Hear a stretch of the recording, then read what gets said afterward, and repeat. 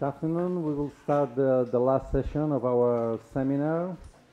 With um, the, the, the general topic is data sovereignty and new forms of democracy. We have uh, four speakers with you, and um, we will follow this the, this uh, this order. The first one will be Alex uh, Hatchem. The second one, uh, Paolo Gerbaudo. The third one, uh, Tamar Sharon. And the fourth one, uh, Jonathan Gray. Trying to, to, you know, to follow the, you know, topics from more a general perspective to a more concrete uh, elements. And uh, each of our speakers will have uh, 15 minutes. And afterwards, I think we have at least something like one hour or less than that uh, to, to, to debate and uh, to, to follow the, the, the debate on, on, this, on this topic. Okay, Alex, you could start. Hello. Uh, first of all, thanks for having me here. It's an interesting and confusing experience, these uh, two days together. Um, and want to apologize also because my first language is Catalan and French, so not English, so I'm going to use notes and stuff like this. So I'm going to talk a little bit about the vision that uh, we developed uh, around technological sovereignty and that we edited uh, three years ago a book that is here and it's uh, we are making now a new one on the topic of technological sovereignty. It was a collective effort and it was an exercise of speculative fiction. So speculative fiction is what uh, activists and human rights defenders do on a daily basis. That is when they imagine the world they fight for, no? a world without prisons, without injustice, without sexism, without racism. No? What they are doing is like distillate those speculative fictions where they imagine how it could be. And this is very important because you need to make speculative fiction uh, moreover with technologies because we need to regain our capacity to dream the technologies that we need, no? And this is the only way to create, distillate radical imaginaries, no? Because a big barrier, no, is what we have in our minds regarding what we need regarding technologies, no? the book has been written and developed by people that are doing technological sovereignty initiatives, no? It was an analytical exercise based on our subjectivity and the refutation of the objectivity as stated by academia, no? So henceforth, it's a bunch of activists, cyberfeminists, uh, researchers, activist researchers, etc., who have been uh, drafting no, this uh, collective perception of technological sovereignty. we wanted to, in one hand, define what it was, and in the other hand, mapping no, the initiatives that existed around the world. So at that time, three years ago, when we look at technological sovereignty, we find basically a reference to technological sovereignty developed by state nations, no? So it was Venezuela, Bolivia, but uh, we wanted to work it from another shift. For us, the interesting, uh, the interesting concept, it was the analogy that we could do with food sovereignty because uh, when you are engaged in developing alternatives and autonomous infrastructure, you always uh, try to raise awareness no, and new forms of explaining why people should pay attention and contribute to the maintenance of those alternatives. No? And many times people are like, oh, yeah, don't have time, it's too difficult, etc., etc. But we saw that uh, with a lot of activists, no, like the food sovereignty concept, they could understand. No? So I'm just going to explain that it's a concept that was introduced by Via Campesina in 1996 at the Food and Agricultural Organization World uh, Summit, and they define food sovereignty like this. No, they say, food sovereignty is the right of peoples to healthy and culturally appropriate food produced through ecological, sound, and sustainable methods, and the right to define their own food and agriculture systems. It puts those who produce, distribute, and consume food at the heart of food systems and policy, rather than the demands of markets and corporations it defends the interest and inclusion of the next generation. So we wonder, is it possible no, to develop an ecosystem no, of technologies that would apply no, the same logic? No? So um, we try to, yeah, to investigate. No? And we saw also that in our definition of technological sovereignty, we saw that it was um, initiatives that um, were developed by civil society for civil society is when the private market or the public state don't do what they have to do, then the civil society take in their hands, you know, the shaping of the resources and the technologies they are needing, no? And we saw that, of course, it was initiatives that try to create alternatives to commercial or military technologies. So their actions look to adhere to the imperatives of social responsibility, transparency and interactivity, because they need to strengthen no, the degree of confidence and trust that people can put on those uh, technologies. They are based on free software, on free licenses, and when they can on free hardware, but it's more complicated, no? But their characteristics, they go beyond this contribution, no? It means that it's not enough to be part of the free software movement, no? To be in the technological sovereignty, and I will explain now why, no? So, when we talk about civil society, what are we talking about? We define as the overlap of citizens and collectives whose individual and collective actions are not motivated by uh, profit, no? but by the attempt of meeting the desires and the needs and promoting at the same time social and political transformation. So in that sense, civil society had always had to have a tactic use and development of ICT. Why? Because uh, the civil society has specific contingencies. Those specific contingencies are the structure of political opportunities, uh, the free rider paradox that applies to all collective actions that are not motivated by individual gain, and also the possibility of mobilizing the resources you need to achieve your goal. No? So in that sense, they have always like developed tactic uses of ICT and media and other forms of expression to, you know, campaigning, to make struggles, actions, and alternatives more visible, for fundraising, or to develop mechanisms to involve volunteers or strengthen the social basis, for documenting process to generate collective memory, to facilitate the transfer of knowledge as well as the access to information for all, uh, improving the internal collective management and organization, setting up channels for interaction and uh, also with institutions and other agents, or providing services and solutions to end users. No? Besides that, the civil society has never limited itself to a passive use of technologies developed by white, rich, sociopathic men, no? like uh, Zuckerberg, uh, Bill Gates, Steve Jobs, no? they have always uh, contributed very actively in developing the technologies they need. No? So here I'm talking about community and radio and television, launching the first non-military satellite, the first website with open anonymous posting in the media. No? It was civil society.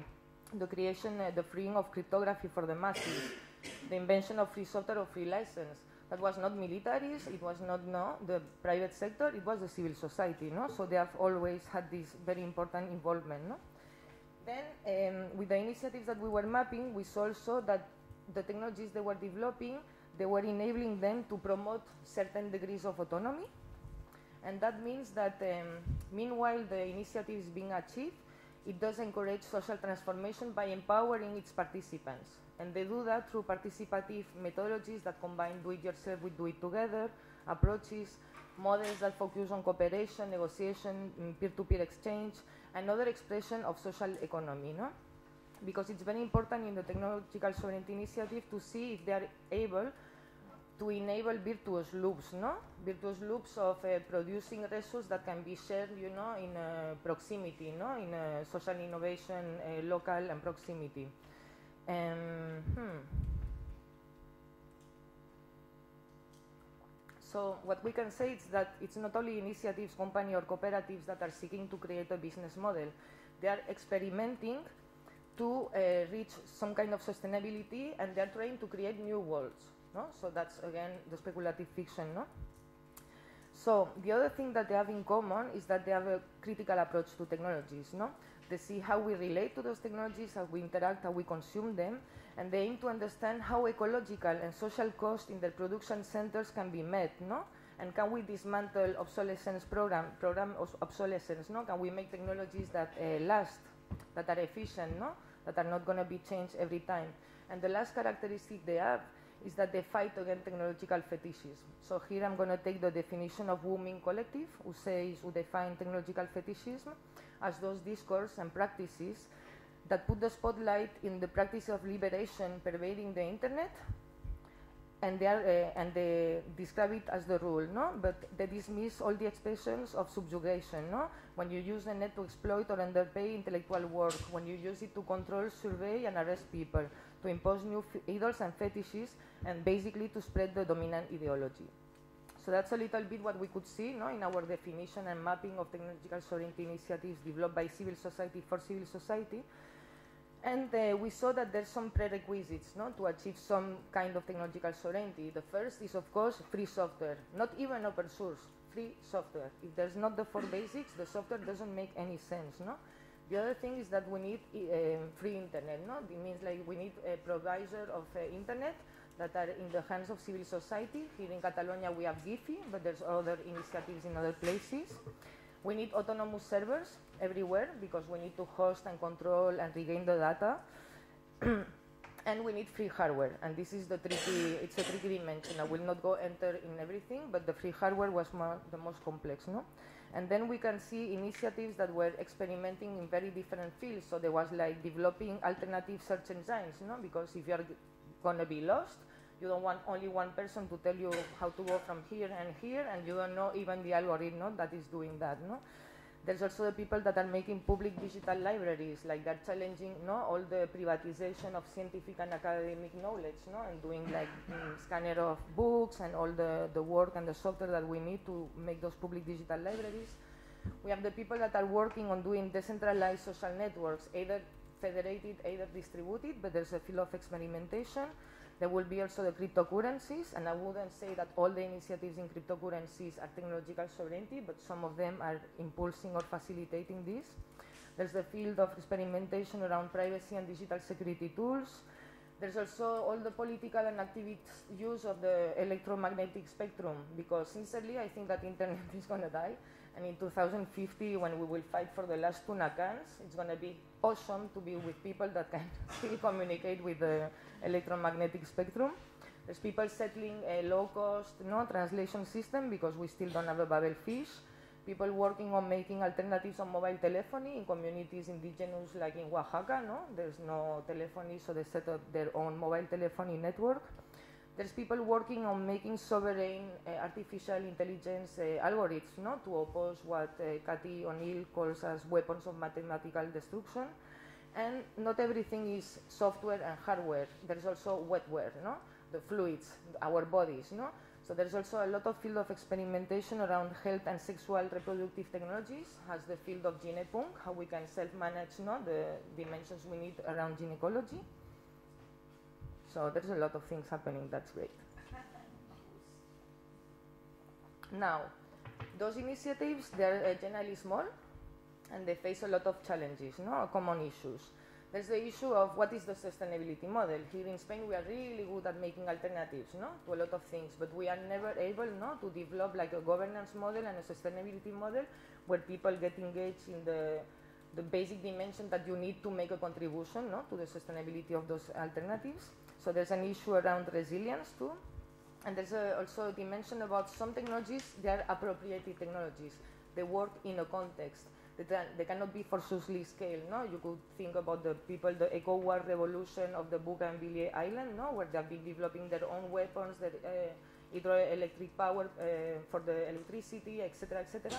So in that case, it's appropriated technologies for that context. Doesn't mean it can be scaled at the micro, meso, or macro level. No? uh, how you do technologies that cannot be appropriated by capitalism. That's another big issue also, no? And then there's another dimension that is very important, is like if the initiative is going to be able to create real inclusiveness. And when I'm talking about inclusiveness, I'm talking about be able to create gender and cultural diversity, means that the people involved in those initiatives, they need not only to check their privilege, but they need to learn how to push back any asymmetrical power relation they might be contributing to and that's a very tricky one. So here I, could talk also of other possibilities like developing empathic interfaces or embedding social transforma uh, transformative justice process inside those initiatives. No? So that's other common challenges that they are facing. And I'm ending.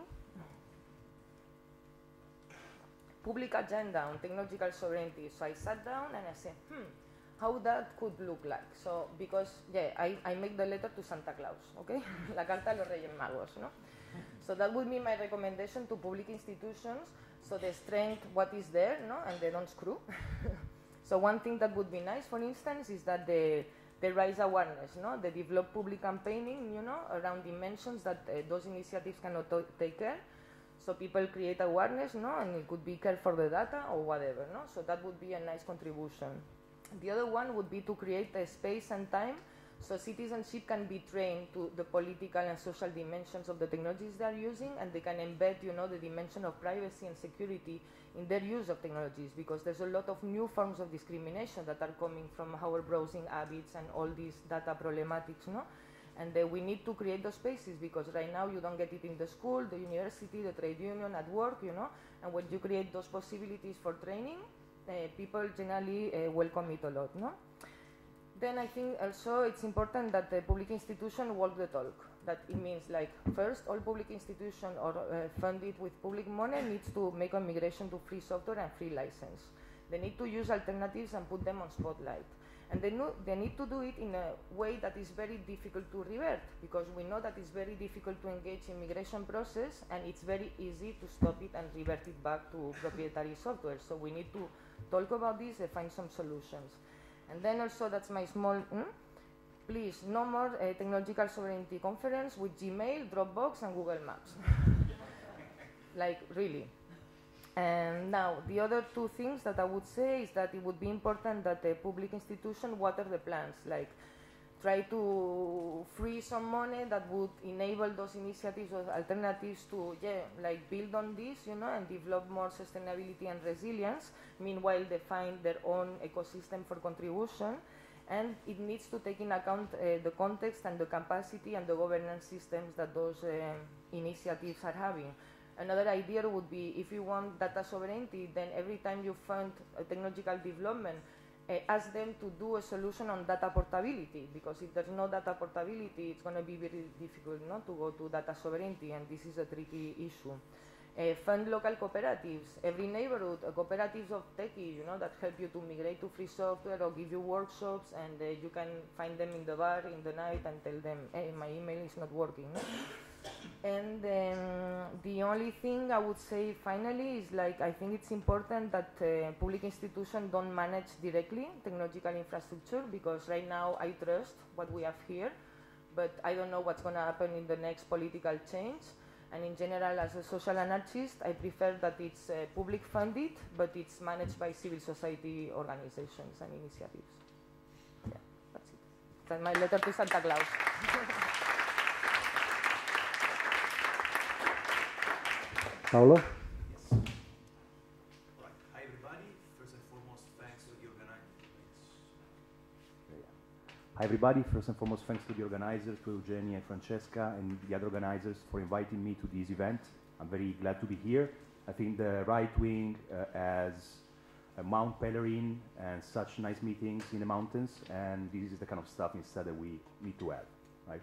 Where to construct an alternative ideological discourse, an alternative frame through which we can interpret our era and through which we can devise a systemic strategy in order to respond to the onslaught of the new right, the new populist right that we are seeing in the US and elsewhere. What I want to talk about in this presentation is technological sovereignty, which is the title of this initiative and which to me constitutes uh, yet more evidence of the fact that sovereignty has become something akin to the master signifier of uh, contemporary politics.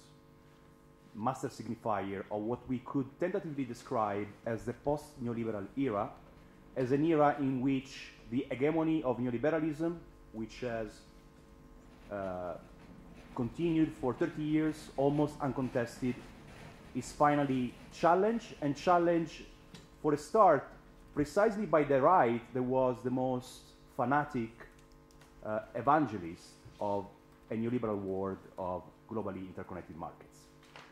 and An hegemony that is contested by the right, by the new populist right, and by the new populist left, by Trump and by Sanders, by the Five Star Movement and by Podemos, by different formations that have emerged since 2008 and that are constructing a discourse that is in its orientation, in its content, in its value system, in its worldview, uh, projects a world that is significantly different from the neoliberal one. I mean, obviously, as it always happens with phases of transition from one hegemonic system to another, that doesn't mean that we won't see any neoliberalism in years to come. Neoliberalism will remain a strain, a stream, an understream in discourse, but more as a residual element. the new system that we're seeing is certainly capitalist, but probably not neoliberal. It may well be far worse than neoliberalism, yeah? because neoliberalism carried also some things most people in this room consider positive, right? An idea of free movement, an idea of uh, equality regardless of race and gender. I mean, then we know all the hypocrisy of the discourse, right? But what matters is ultimately that the new ideological battle between the new right and the new left doesn't revolve around typical neoliberal motifs. Doesn't revolve around freedom, be it freedom of the market or freedom of individuals. It revolves in re instead around other notions, notions such as security, protection, and sovereignty. And sovereignty is indeed, to me, the most significant notion there. We see this return of sovereignty at a number of levels, in a number of new definitions, such as technological sovereignty, food sovereignty, social sovereignty. But we also see a return of sovereignty in its original uh, understanding.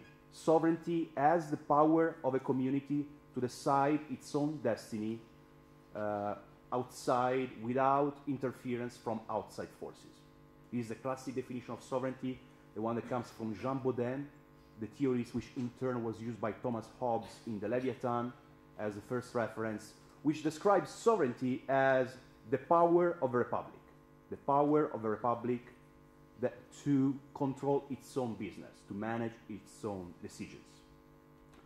And we see this not post-neoliberal horizon and this discourse of sovereignty very much everywhere we look. Uh, we see it in Trump's discourse and we see it in Bernie Sanders' discourse. We saw it in the Brexit campaign uh, with the famous slogan, take back control.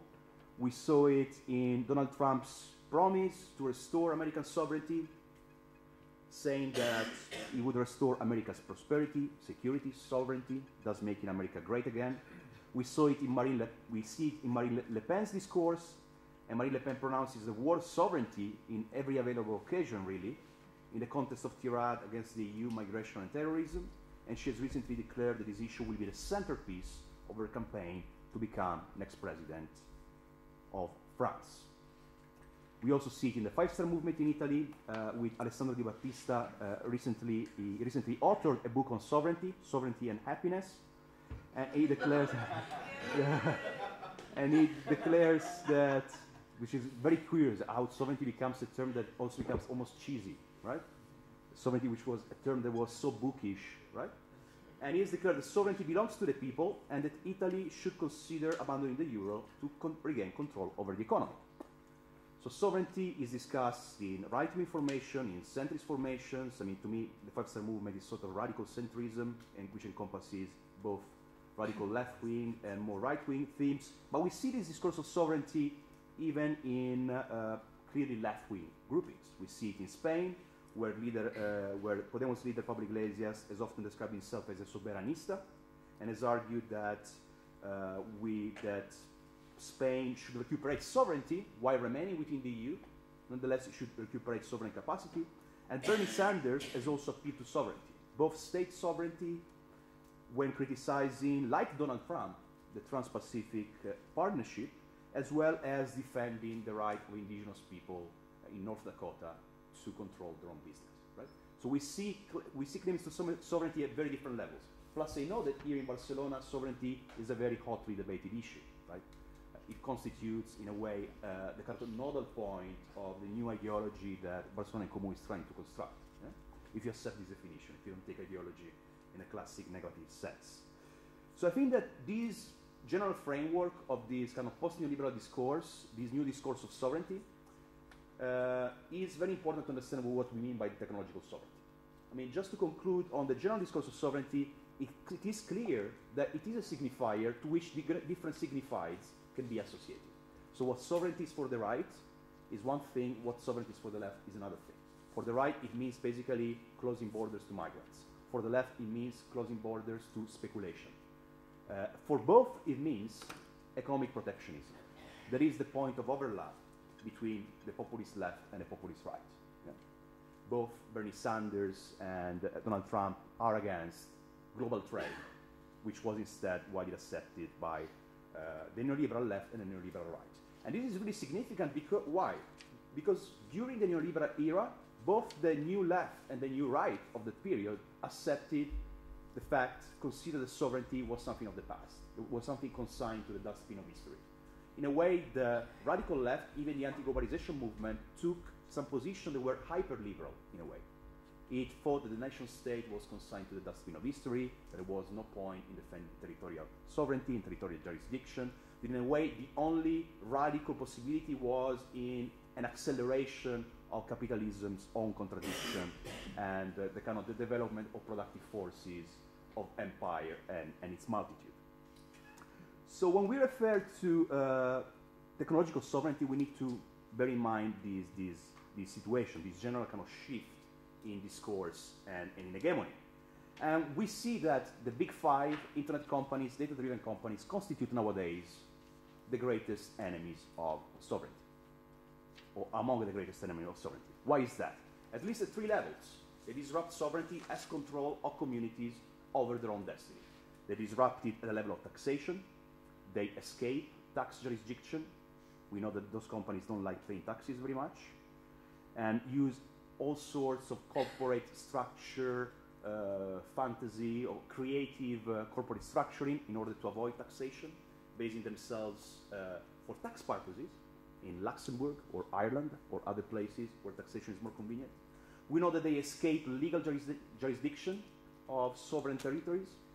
We know that the business model of disruption is about is akin to these new drugs that are created and that are not on the drug list, and so they can be sold for some time in discos. Yeah. Um, companies like Airbnb, Airbnb and Uber are in clear violation of many city laws, and even cities like San Francisco, the actually cradle of these companies, have been engaging in lawsuits and fines against these companies. And we know also that these companies constitute monopolies in specific niche markets, the search engine market, the personal networking market, the car booking market, or whatever you want to call those markets, which are against, again, a clear violation, a clear antagonism towards sovereignty. So, going towards the conclusion of, of this talk, I mean, what are the strategies in this politics of sovereignty that can be waged against these companies? I mean, part of them uh, belong to the terrain of social sovereignty, sovereignty based in civil society. But in the spirit of this discussion we have been having in these two days, we also need to reclaim state sovereignty. We also need to reclaim the sword and the club of the state against large monopolist companies like the Big Five and other internet companies. What does this mean? I mean, we already seen this at play in Barcelona with fines against Airbnb. We are seeing it in several cities with lawsuits against Airbnb, Uber, and other unicorn companies, so called, which are using local sovereignty. They're using the power of cities to license services and to regulate their own economic activities. Though there may also be more drastic measures that can be taken against these companies, more illiberal measures that can be taken against these companies. I think that in these post-neoliberal eras, we will see a lot of politics that people will consider somehow illiberal, but it may well be necessary. I mean, in some circumstances, one, if one wants to have a sufficient negotiating power against these companies, one needs to find ways to ban these companies from one's own territory. As a nuclear option, right, an option that one would prefer not to use, but you bring to the negotiating table, you know, IP filtering, DNS filtering. I mean, this is stuff China and Iran uh, use for very dark purposes, right? But one needs to consider what kind of actions we can take against these companies in order to blackmail them as much as they are able to blackmail sovereign territories. That's it.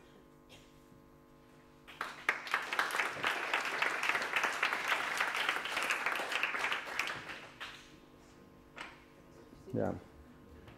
Tamar? I brought some slides. I thought people might be tired by now.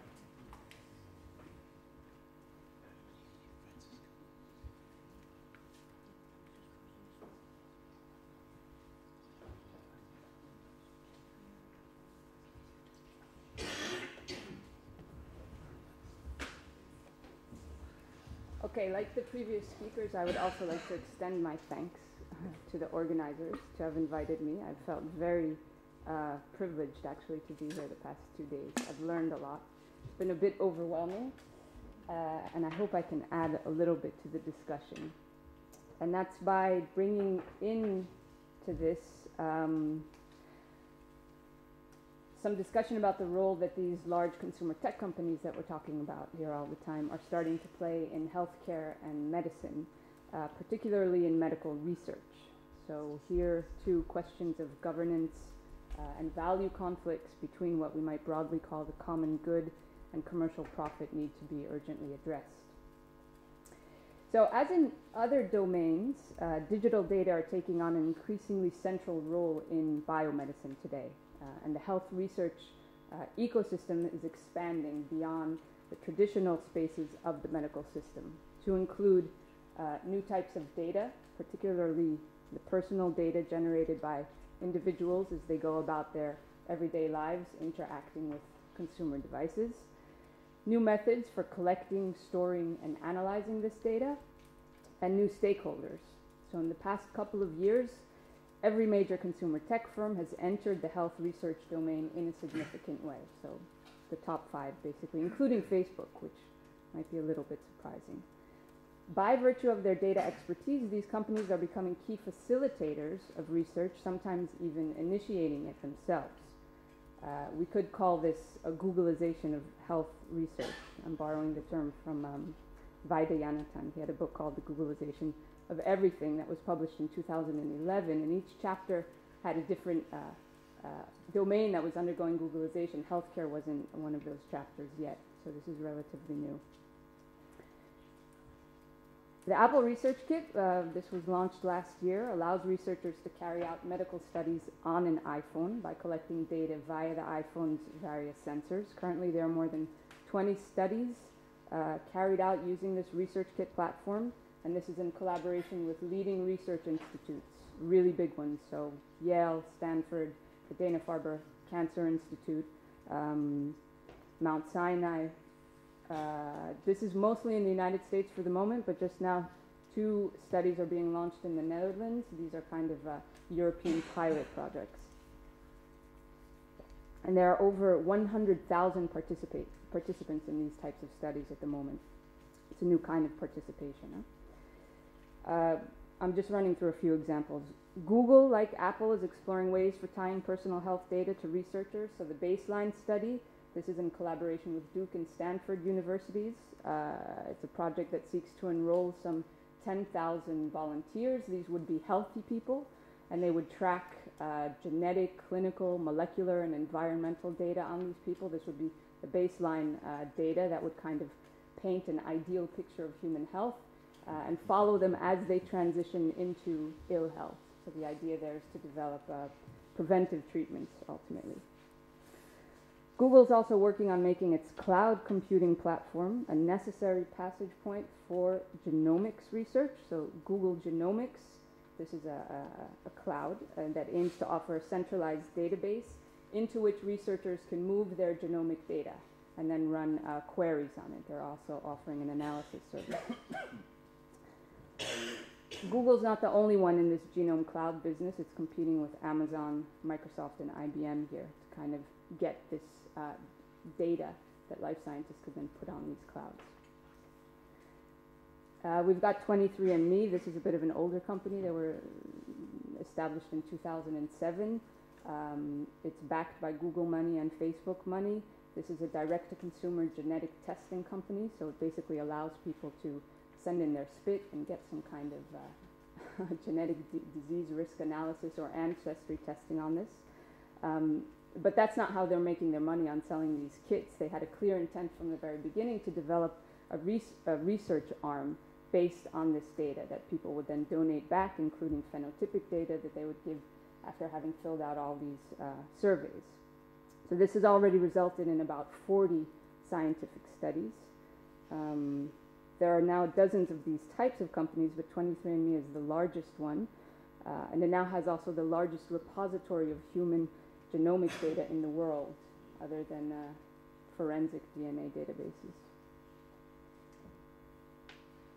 So, as we've become used to hearing in various other fields, Silicon Valley seems intent on disrupting, if not revolutionizing, how medical research is carried out.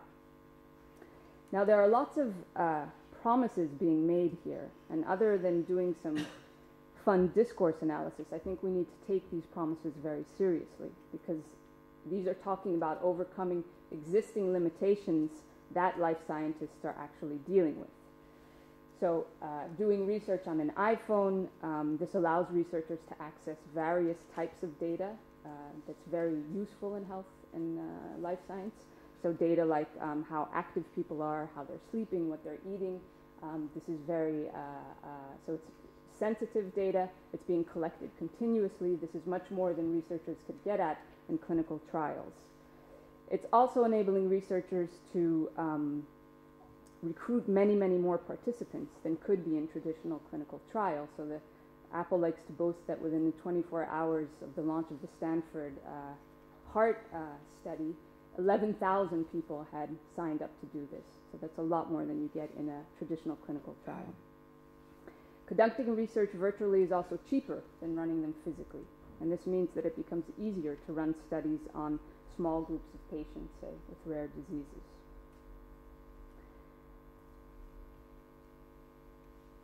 But this Googleization of health research, uh, it's also challenging existing ethical norms and frameworks in novel ways. So I've been working on mapping these issues, and I think we can organize them in three clusters. So these are um, clusters that pertain, first of all, to questions of scientific rigor. So there's just questions like uh, what quality uh, the data that's being generated by these devices is. Um, or questions like what kind of new biases are introduced into this type of research. So doing research on an iPhone, certainly you can access millions of iPhone users, but this is a very specific demographic, right? It's one that's particularly uh, well-to-do, white, and well-educated, and often healthier than the general population. Um, so this is a question actually of, of social justice. There's a question of who's discriminated in this type of research that's being done. And this gets lost a bit in the hype around big data, and we'll have such great volumes of data that this kind of neutralizes biases. Um, the second uh, kind of cluster of questions pertains to research ethics. So this is uh, issues like privacy protection and informed consent. Uh, will these companies start trading in disease profiles or sharing this information with advertisers or health insurance, health insurers? Uh, this is kind of the obvious question, the privacy question. And what I've seen in some of the research I've done so far is that the literature that is discussing this, the scientific literature, the tech literature, it's not really being discussed in policy literature yet, uh, but they tend to focus on this question of privacy or scientific rigor. And um, this obscures this third set of uh, questions about new power imbalances. So this isn't something I have to argue for uh, in this crowd, but if I'm speaking to this about this to life scientists or students uh, or other audiences, this is really a point I have to make that this last set of questions is an important one. So I'm still going to talk about those in particular. Um, so the question there is what new power imbalances are emerging in this expansion of the health uh, research ecosystem and what this means actually for future research agendas uh, and perhaps a notion of the common good. So an example of this, um, basically of, of, of, the kind of uh, focus on, on privacy and informed consent at the expense of the, this last question or, this last kind of situating this phenomenon within the political economy of data sharing and use uh, is DeepMind, which I guess you're all quite familiar with, right? And it's been mentioned here before. So um, Google's artificial intelligence offshoot DeepMind, this was recently at the heart of a controversy um, concerning the terms of a data sharing agreement partnership with three NHS hospitals in the UK. So this agreement uh, grants basically DeepMind access to fully identifiable information on 1.6 million patients who came in and out of these hospitals in the past five years. Some of this data is quite sensitive. It can be about HIV, it can be about abortions that people came in to have. Uh, and there was complete silence from politicians and regulators on this uh, and it took investigative journalism to, to kind of bring this out. It was a New Scientist who did this. And this partnership, by the way, was just extended a few weeks ago for another five years. Now, this controversy, when it did emerge, uh, it was mostly about this question of informed consent. So, did these 1.6 million patients uh, give consent to Google DeepMind to access their data? The short answer is no, uh, it didn't. the longer answer, and the one that DeepMind and the NHS are standing behind, uh, is that because, because this is being used for what's known as direct patient care, the claim is that they're using this to develop an app to help doctors um, identify uh, kidney disease. Because it's being used for this direct patient care, there's a notion of implied consent. So you don't have to give explicit consent if you're sharing information with a doctor who shares it with a specialist in order to care for you. Now, challenges to traditional understandings of informed consent is something we're seeing more and more in uh, research that's using large digital data sets, where it's not actually possible to predict all future uses of the data and what risks that involve. So that's not particular to Google or this, or this type of uh, uh, research. But seeing this solely through the perspective of research ethics limits the issue to the question of informed consent and privacy. When deeper than this, course, runs the issue of who stands to benefit from this and how do those 1.6 million people actually benefit from this app. Now, we might say, okay, but industry academia partnerships, this is nothing new in biomedical research. We can think of big pharma. Uh, it's just another instance of commercialization. Um, I would argue that it is a different phenomenon. First of all, uh, pharma companies, they can be kind of gatekeepers to the data that, that's generated in the studies they run, but they usually don't have the uh, wealth of longitudinal data about people that a company like Google has access to uh, nor the type of across the board predictive analytics uh, that this data can feed into.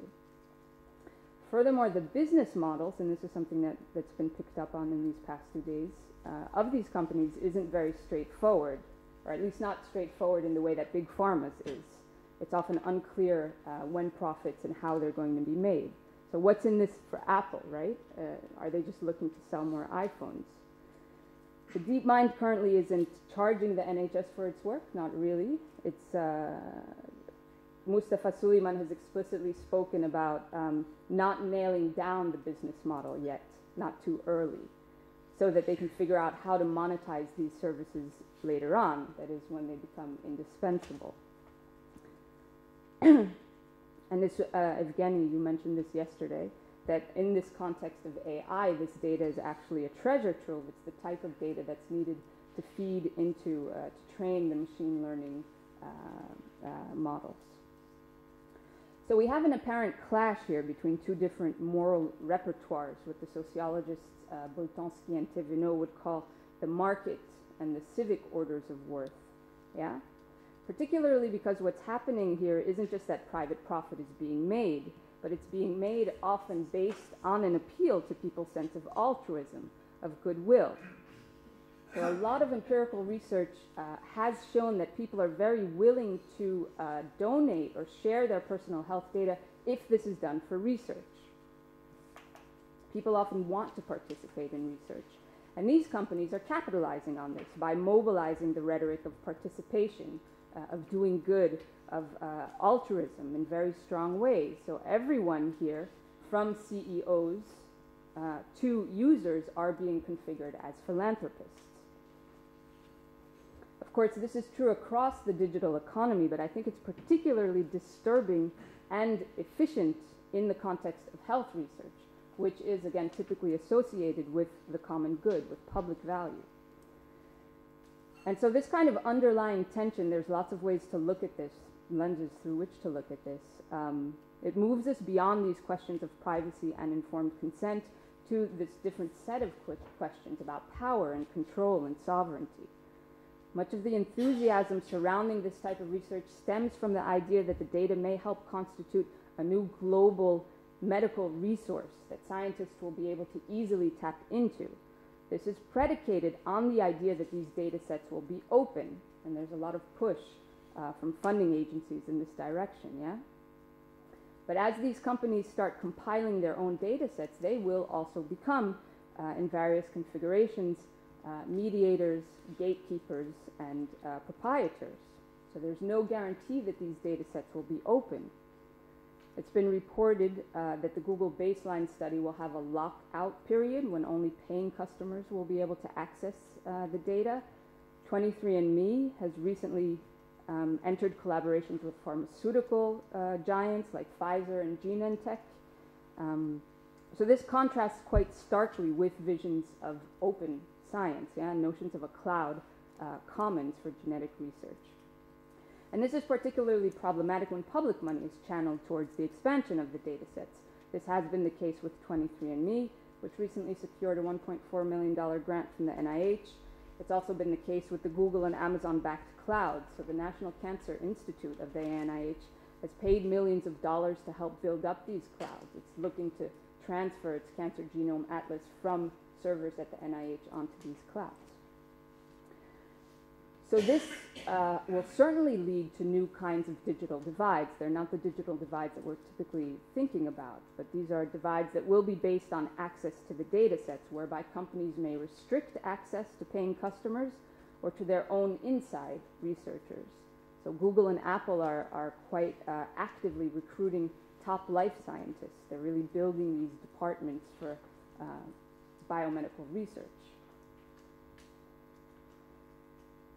Access isn't the only issue at stake. These new forms of uh, technological and computational expertise that the companies bring to the table may also contribute to a redrawing of power relations.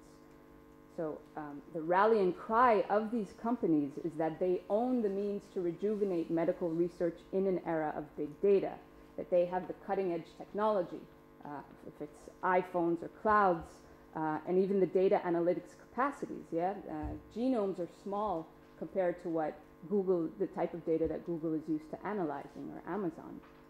It's nothing in comparison. And so these companies transpire as the natural partners with whom traditional research institutions should collaborate, not just on uh, specific projects, but on what is being conceived as a new mode uh, of data driven and mobile technology enabled science. And there are questions of who are the experts here, yeah? If these companies will be facilitating uh, or displacing some of these traditional research institutions. So the terminology used here, this is just an example, a really good one. The terminology used here is quite telling. We have here, this is, the, uh, uh, this is from Duke University's website, um, when they uh, when they spoke about the launch of this baseline study. So it says Duke and Stanford to assist Google X. It's not even the other way around. Even Duke isn't hiding it. Okay, I'm finishing. I'm over time, right? Yeah. So I that messed up a little bit. All right, but I'll do. Um, so at this point, I don't have much to offer more than a, a diagnosis. To tell the truth, this is the beginning of a, of a larger research project. Uh, I think solutions will require more empirical and conceptual work. That's the type of thing that I would do. I'm not saying anybody else has to do. I won't go into that. But I think uh, more fine grained consent, for example, is not the way to go. There's a lot of push for that. Um, uh, and we've got to develop new models of governance. So some of this is happening. Some of the initiatives I just threw up here that I think are interesting to look into are also kind of commons-based regimes, co-ops so the Human Open Humans Project, this MIDATA project is a co-op in Switzerland, uh, and Sage Bionetworks is a really interesting kind of new mediator in this ecosystem, uh, a not-for-profit one. The co-founder of Sage just recently left to work for Apple. That's quite interesting. Um, and I think, as has been mentioned here, uh, also we need to not lose sight of oversight of regulation. So that has to be a demand on the part of uh, in this. So this idea of what kind of consent we would have has to be coupled with the right kind of governance model. And again, I think the commons, the idea of thinking of personal health data as a common good is an interesting one. But there are inherent limitations to that as well. Um, I'll, I'll, stop there, and then maybe we can. Thank you. Thank you.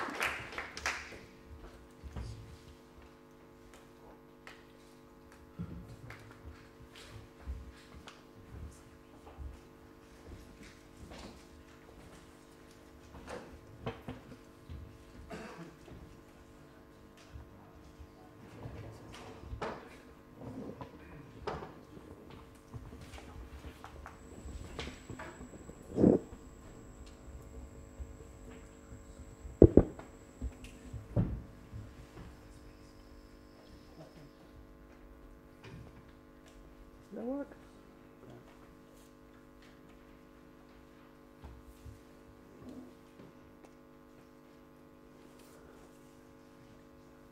So, uh, thanks so much again to Evgeny and Francesca for inviting me, and the range of discussions and talks that we've had has been really useful. I look forward, I guess my interest now is how can we translate some of these things into practice in various settings um, after, after this event.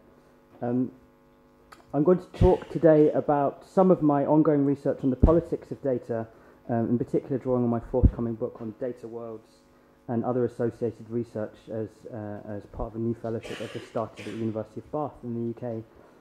And um, this is focused on one dimension of the broader social, political, and economic consequences of the technological developments that we've been discussing um, as part of this event, uh, namely processes of datafication. And uh, my basic claim today is that we need a new politics of data, and that many of the ways that we imagine and organize around digital information systems are essentially inadequate to the situation that we're in. Um, and I'm going to suggest that we need a much more ambitious interventionist political vision about reshaping information systems to be attuned to different kinds of social, uh, political, and uh, other interests and concerns. And I'm going to divide the talk into basically three sections. I'm going to very quickly run through um, what I understand uh, by datafication, and then I'm going to look at two forms of uh, common intervention around digital information systems, which I, uh, I shall argue are in themselves inadequate. And thirdly and finally, I'd like to suggest a few possible elements towards a new, more ambitious politics of data. Um, so I won't sort of dwell on this for very long, but as we've been discussing, digital information systems have come to play a central role in how we organise and imagine collective life in the 21st century. And the limits of our world are demarcated on the one hand by electronic equipment um, scanning the movements of the clouds and space debris, and on the one, you know, sort of the bottom, you know, we have um, the oce oceanic currents deep below.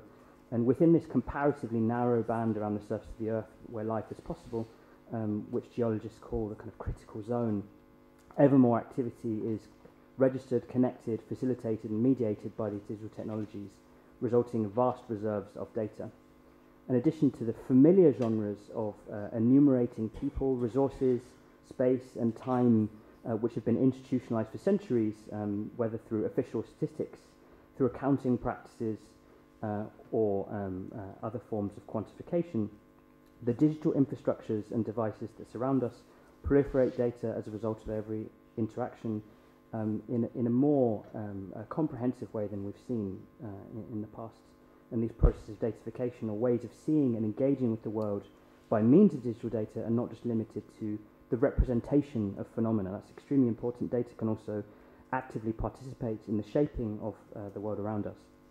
The very act of generating data can uh, change behavior, albeit in uh, sometimes unexpected ways and with unintended consequences, as we see, for example, in the numerous um, uh, uh, pieces of work that have been done around uh, league tables and performance metrics and rankings, indexes and indicators. Uh, economic sociologist Donald MacKenzie writes that uh, financial models are not just cameras that uh, depict uh, behavior within markets, but they also act as engines which change and reorganize economic activity and behavior within markets. And the same is doubtless true of the quantitative appraisal of life uh, in, in the workplace, in the classroom, in the home, and on the street. So data not only refers or designates. Um, it can also guide, stage, and enact social life in different settings. And this is something that historians and sociologists of statistics have argued for a long time that classificatory practices uh, of public institutions and, and, and private institutions have brought into existence new kinds of social categories, new kinds of social imaginaries. And today, um, I think it's fascinating that computers and algorithms are increasingly playing a role in grouping and ordering uh, social life in all kinds of ways. And of course, I'm, I'm sure many of you know these kinds of examples of the role that information brokers are proposing new kinds of ways of classifying uh, society, um, you know, and sort of rethinking kind of class relations and social relations, uh, drawing on automated analysis of large volumes of data from different sources, um, proposing uh, things like consumer credit profiles, uh, like just, such as Credit Crunch, uh, city families, or rural and barely making it. And such emerging forms of data work can, of course, have huge uh, social, politic, political, economic, environmental, and cultural consequences, which you know we, we, we cannot afford to ignore.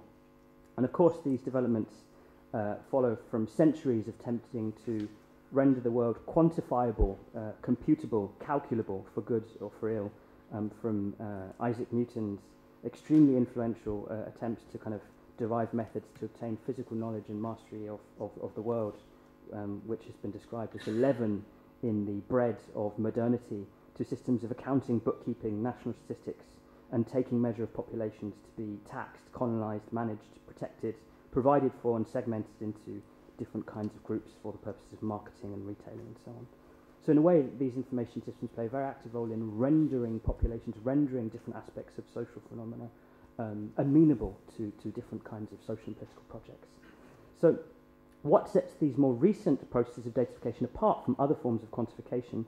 I think one of the things obviously is the scale and volume of the data that's being generated automatically through the interactions with sensors and digital services, platforms and so on.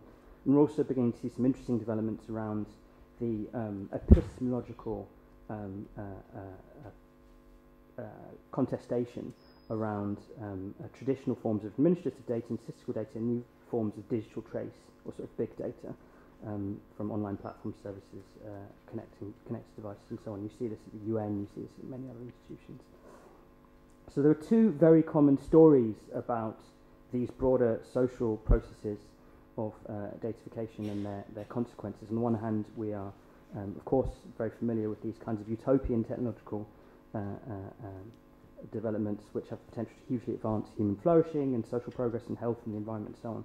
On the other hand, we have narratives about how the same technologies have the potential to have catastrophic dystopian consequences, for example, through um, the massive acceleration of marketization and the bureaucratization and surveillance of all things.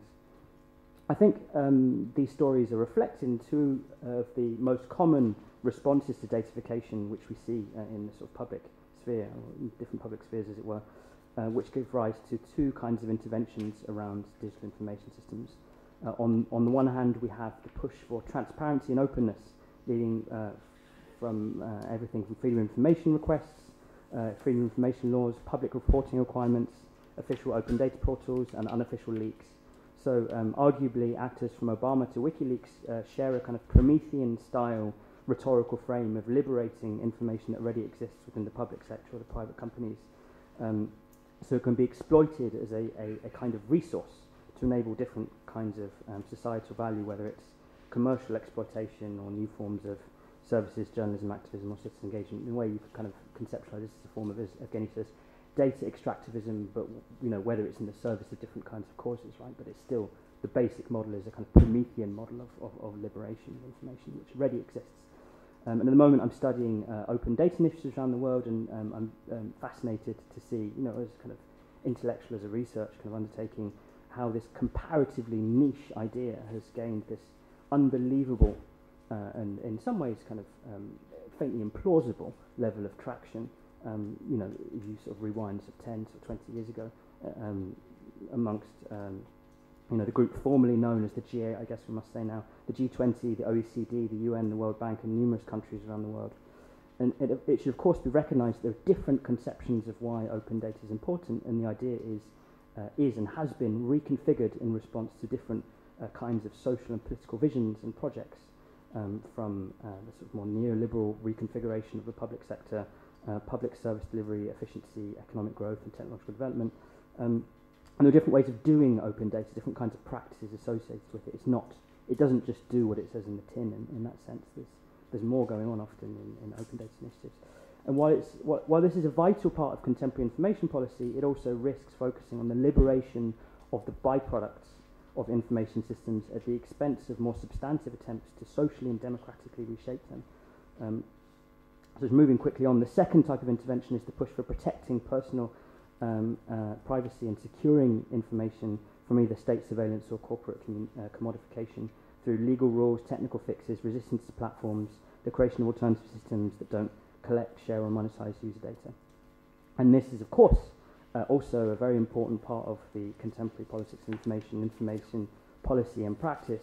But here there is again a danger of overlooking other dimensions of information systems and the role they play in securing progress and uh, how they can be uh, effectively engines of order which reorganize different aspects of collective life.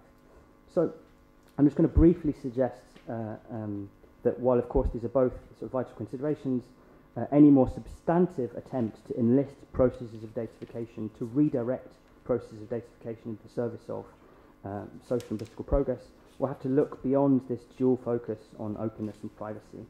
Um, a more ambitious politics of public data will have to move beyond programs to make data public or keep data private. Uh, and it will have to cultivate the political imagination the practical capacities to recalibrate um, digital information systems to be attuned to a broader set and a different set of societal uh, and, and sort of political interests that may be, um, uh, of course, different from the immediate concerns of technology companies, investors, ministers, and managers. Uh, and this would entail opening up spaces for democratic deliberation and social participation around the creation of data and processes of datafication. And this is not just, um, I would argue, a purely hypothetical or theoretical proposition. And I think that um, we can potentially find some seeds uh, or for some of the elements of a more ambitious vision um, of new genres of data speak, of new genres of data work, by extrapolating from, um, as Max Weber puts it, reflective understanding of the means which have demonstrated their value in practice in different settings. So I'd argue that uh, a politics of data that's fit for purpose in the world we live in must look beyond data liberation and data protection towards reshaping and reorganizing the socio-technical systems implicated in the making of data. Um, as alluded to earlier, data infrastructures don't just produce neutral representations of the world, they also play an increasingly important role in staging, formatting, and enacting social and political issues.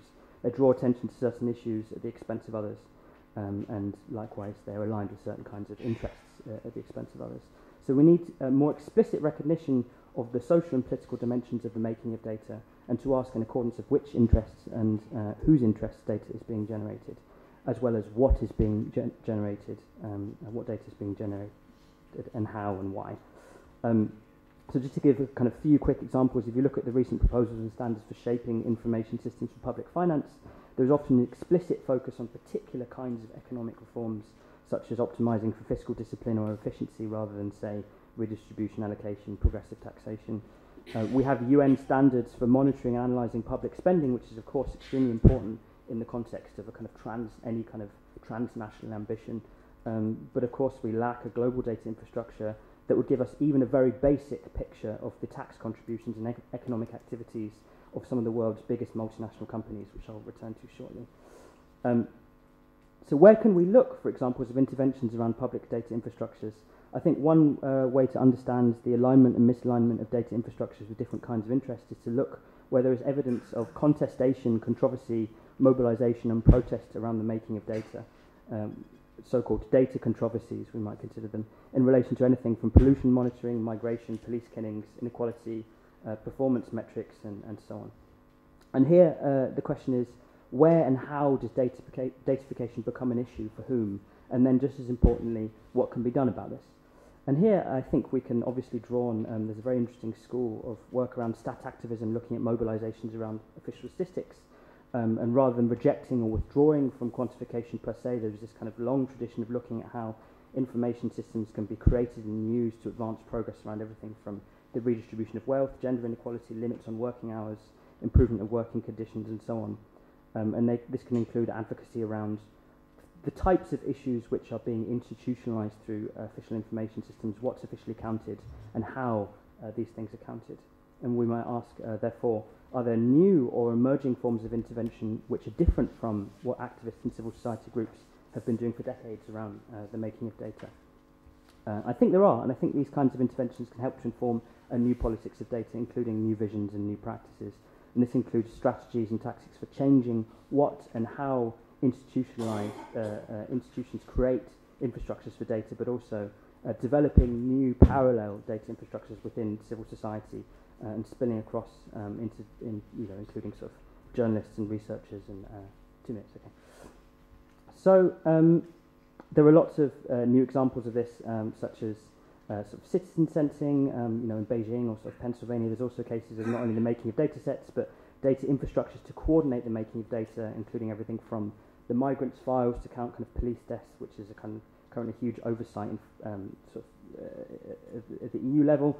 Um, there's also projects like The Counted, um, created by the Guardian, Guardian, who looks at kind of uh, deaths in police custody. Um, just to mention a kind of couple, couple of projects which I've um, been involved in setting up. One is called the Open Trials Project, which is um, uh, aggregating different clinical trials registers and combining it with other sources of information about what big pharmaceutical companies are doing. um, and uh, looking at systematic biases and omissions in the evidence base for medicine, particularly around sort of developing countries. Um, and uh, another project is uh, looking at tax and uh, attempting to start a kind of parallel uh, civil society data infrastructure for uh, uh, understanding the economic activity and the tax payments of multinationals, which ultimately, you know, the objective is for this to, to live at something like the UN as opposed to the OECD, and to involve developing countries in, in, in the maintenance of such a system.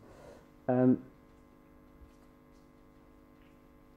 I'll kind of quickly skip ahead. Uh, in the way of conclusion, um, I've suggested how politics of data must advance beyond a predominant focus on openness and privacy in order to address uh, more substantive questions about the role of datafication securing progress in relation to different kinds of social and political agendas.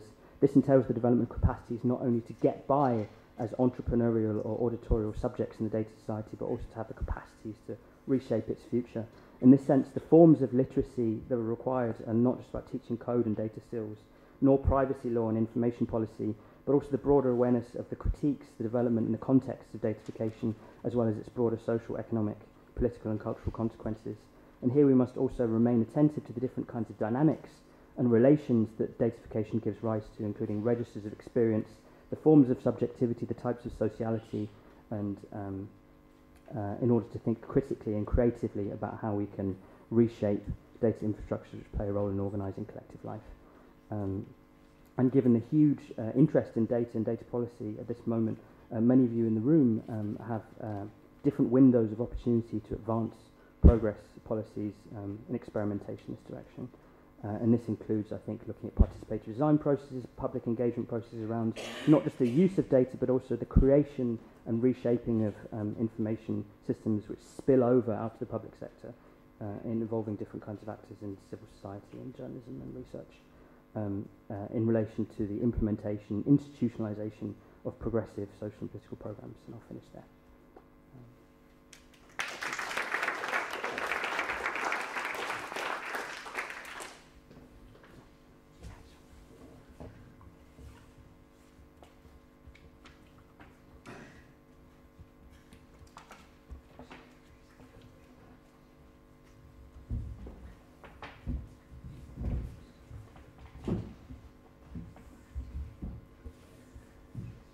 After this, uh, our four speakers, I think we have a, a lot of good uh, elements for, for debate, and I guess we will have uh, a lot of questions and and elements. Uh, we'll start. We have more than half an hour, almost uh, 45 minutes. And if we, Marco.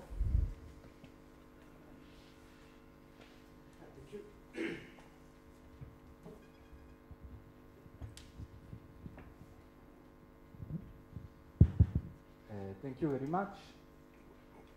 All the interventions were very, very interesting. And uh, I would like to make a sort of uh, transversal, some transversal questions which I think can be answered by you all. Uh, I, um, the first would be, mm, I think most of you have used a reference to the commons, no, as an idea, so I think we can take that as a, a common uh, point of reference. And I would like to mm, ask around this issue, this approach, let's say, some questions. The first, for example, Alex, you made a, a difference between free and software and open source. I would like that you argue more about that. More in general, I would like that uh, we you uh, say something about how you see the expansion of the open source model to many companies. Now we have seen also in the case of health, you know, there are many initiatives that in some way adopt features which are similar or, or uh, uh, mm, mm, typical of commons-based uh, models, now that are driven by companies, not big companies. So how we deal with this kind of hybridization that we observe, and do can we have a pragmatic approach, or we have just as in some way Alex was suggesting to reject that uh, mm, situation of hybrids that we observe. Can we have a politics about this hybridization that is also advantageous from our point of view? Uh, observing that is also a, a mean of uh, competition that is taking place in the capitalistic uh, sector, no? Is, is there something interesting there? For example, take the initiative of Tesla, or not Tesla, sorry, but of um, mm, the owner of Tesla, how is the name? I don't remember. Huh? Elon Musk. Yeah, uh, concerning, for example, this initiative concerning in, uh, artificial intelligence, no? He's trying to to promote with a lot of resources a project about uh, having uh, uh, developing projects of uh, artificial intelligence that are open or open, no? Compared with the situation nowadays that is uh, of Google and Facebook uh, that controls this this area of no. It's a competitive challenge that is trying to to bring based on this model, no? Trying to create an ecosystem, of a cooperation around this model. That so it's an example. This is one question. The second question is. Uh, the sustainability model, now that also was, uh, so which are the models that we can imagine to develop? The case of the data is very interesting. Alex was referring to this, the health is another, no? The, the, the adoption of the commons mm, uh, generates a lot of challenges in terms of inventing new models of uh, economic forms and sustainability, etc., with a lot of ambiguities. So to have some feedback from you about that.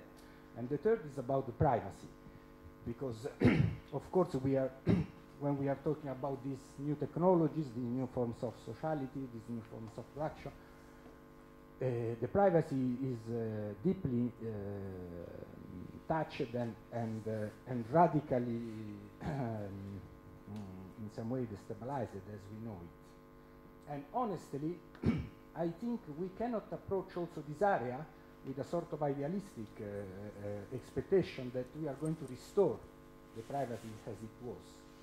So what kind of compromises we have to be uh, ready to sign, let's say, that are not the kind of, uh, of course, of uh, expropriation and, and privatization and uh, centralization and, surveillance models that we observe, but at the, at the same time, I don't believe we can uh, expected to restore the privacy as we had it. And so, how we deal with this politics? Sure. Uh, I have uh, several questions. So first, uh, to Paolo. Uh, so when you speak about post-neoliberalism, uh, which you know is a debate that a lot of people are having now, you several times repeated the term discourse, and it makes me think that you do primarily view neoliberalism as discourse. And you know, if you follow you know, Foucault's lectures on biopolitics, you might get that impression that ultimately neoliberalism is a discourse because what Foucault does in that lecture series is primarily look at texts written by neoliberals. Um, however, we all know, and you mentioned it at the very beginning of your intervention, that you know neoliberals do have institutions like Mont Pelerin Society and many others whose job it is to basically create practices that take that discourse and find a way how do you build a central bank that's neoliberal? How do you basically create a political institution that's fully protected from participation of the people and you only have the markets kind of setting its direction and its rules? So, you know, we have 50 years of innovation and neoliberal practices, many of them advanced by the World Bank, you, you know, and all the other institutions. And I'm just curious to what extent you find that at the level of practices, we are in fact moving anywhere close towards post-neoliberalism. Because if we just stick at discourse, it is in fact true that Theresa May goes and says, we are going to put workers on every corporate board. Then when the push comes to shove, she immediately walks back from that statement and doesn't actually make it and says, you know, no, sorry, that's what, what I said after Brexit. Now I'm not going to put any workers on any corporate boards, right? And I'm just curious if, it, if it's actually justifiable at the level of practices at this point to be speaking about uh, post-neoliberalism. then the second question, uh, which you know is a question and a comment that I have, is to Alex, where you, know, you several times mentioned this idea of civil society as if the previous panel didn't happen. Uh, in that, you know, I work for what you would probably call civil society. I work for NGOs, I work for foundations. I can tell you that if you think that civil society is an area that's free from the state, uh, it's not correct. It's just that the state in this case happens to be a foreign state that finances uh, all sorts of foundations, in the case of things like National Endowment for Democracy, or philanthropists from abroad who fund the development of civil society. I'm, I'm afraid to say, but this is how civil society is functioning in much of, for example, Eastern Europe and probably Latin America. So when you say that, when it comes to technology policy, we have to create policies where the states somehow participate and fund maybe some of the groups but actually civil society that is then in charge. I'm just curious to what extent you think we're actually protecting us from the state, because in this case it seems like we're actually empowering the foreign state at the expense of the local one, at the expense of the local one. And I think it's a question that we cannot easily circumvent because ultimately we have to problematize the notion of civil society itself. Because I don't believe that we're just talking about autonomous organizations and individuals that do not receive any foreign funding, that do not receive any money from the very foundations that we were trying to kind of uh, problematize in the previous section. Uh, and then the last comment, which is somewhat related to the one I'm just making, is that it was a very interesting article uh, three years ago in the Wall Street Journal, whose headline was, if I'm not mistaken, uh, Open Data Government Laws Fuel Hedge Fund Profits. Uh, and what that article stated was basically that hedge funds have become extremely uh, skillful in fielding uh, freedom of information requests, getting the data that no one else has, and using that data then to make very profitable trades through which they earn billions. And I would argue that you know, if you look at this field a bit more broadly, it's not just hedge funds getting to that data, it's also, you know, the fact that a lot of the data that is out there and that is put in the open through the efforts of many civil society organizations also benefits disproportionately firms that specialize in what I previously described as data extractivism. I mean, the ability and the capacity of Google to profit from a data set is ultimately greater than the capacity of me as an individual. And I'm curious, Jonathan, how would you sort of fit these kinds of processes into your beyond openness and privacy discourse, I think it can fit, but I think we would also like to maybe even link it to the idea of civil society, especially, you know, I'm sorry to be making this connection. If you look at somebody like George Soros, he happens to run a hedge fund while also running a giant philanthropic organization pushing for open data. I'm not saying he's the person profiting from open data laws, but clearly there are certain uh, conflicts of interest between money standing behind philanthropies and hedge funds and the operations of civil society that I don't think we should be ignoring.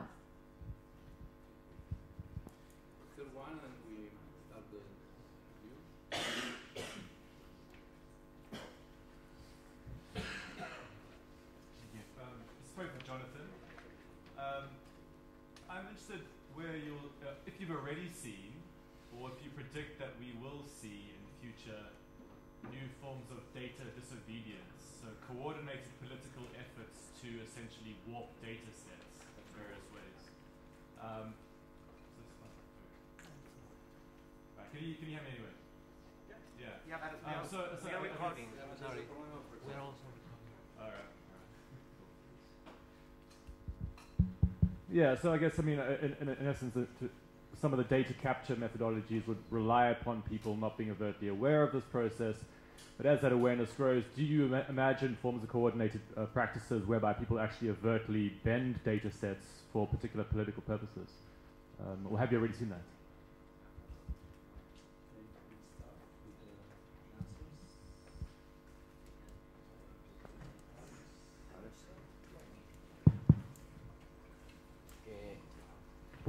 Okay. So I'm going to answer the question, comment.